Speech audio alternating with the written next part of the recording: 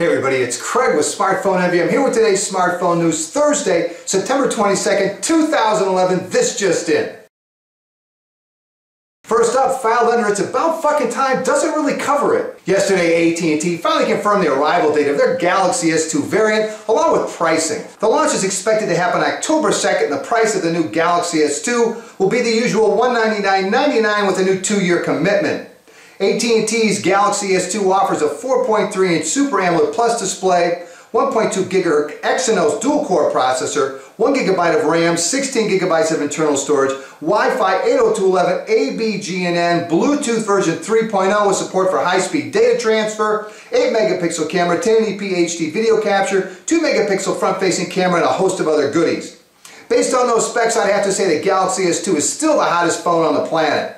Next up, file under, it looks like the iPhone 5 may be dead for now. Wedge Partners analyst Brian Blair in a letter to investors yesterday indicated he thinks the iPhone 5 may be aborted for now in favor of an upgrade to the iPhone 4. The next gen iPhone is expected to offer iOS 5, a dual-core processor, 8 megapixel camera, and according to Mr. Blair, a very slim chance at a larger 4-inch display. Mr. Blair went on to write, we believe the casing will be largely similar to the iPhone 4 with some particular modifications to the antenna. We don't expect a second dramatically different iPhone to accompany this, as we don't think Apple needs to have three models in the market to address the high-end, mid-tier, and low-end price, since the iPhone 4 with memory lower to 8 gigabytes will drop to $99 and effectively attack those markets. So iPhone fans, what do you think?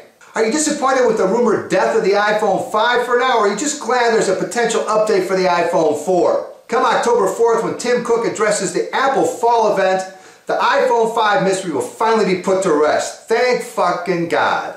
Next up, filed under My Fruit's Getting Ripe. Windows Phone 7 announced yesterday that the Windows Phone 7.5 Mango update is expected to arrive in the next week or two. This morning, Deutsche Telekom tweeted customers they would be receiving the Mango update for Windows Phone next week. DT also went on to tweet the first devices to receive the update will be HTC handsets, followed by Samsung devices. Windows Phone Blog also mentioned the Where's My Phone update would be updated soon to allow you to follow the update process worldwide and those updating would want to download and install the Windows Phone 7 connector for Mac and the Zune software for PC if you haven't already done so. I don't know about you, but I'm getting pretty excited about getting my hands on a really nice ripened piece of fruit.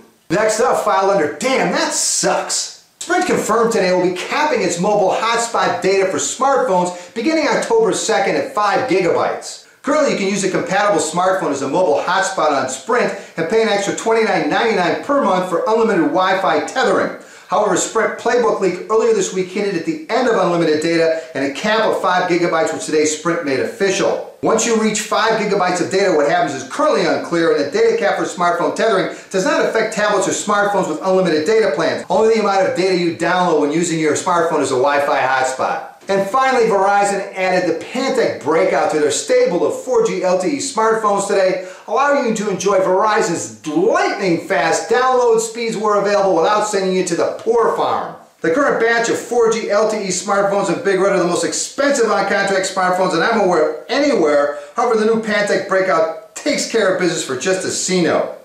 The Breakout supports a 1 GHz single-core processor, 512 megabytes of RAM, Android 2.3 Gingerbread, 5 megapixel camera, 720p video capture, front-facing shooter, 4-inch WVGA TFT display, and 1500 milliamp battery. Watch for the Breakout landing on Verizon in the very near future. Thanks for watching. Don't forget to tell a friend about our show, and until next time,